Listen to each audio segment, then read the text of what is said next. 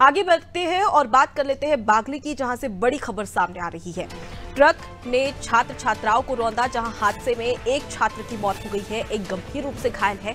गंभीर घायल को इंदौर रेफर किया गया है। परीक्षा देकर घर स्कूली छात्र लौट रहे थे और उसी दौरान ये बड़ा हादसा हुआ, जहाँ बागली चापड़ा रोड की ये घटना बताई जा रही है, जहाँ ट्रक ने छात्र छात्राओं को टक्कर मारी और उस दौरान एक छात्र की मौत हो गई है तो वहीं एक गंभीर रूप से घायल है, जिसे अस्पताल में भर्ती कराया गया है।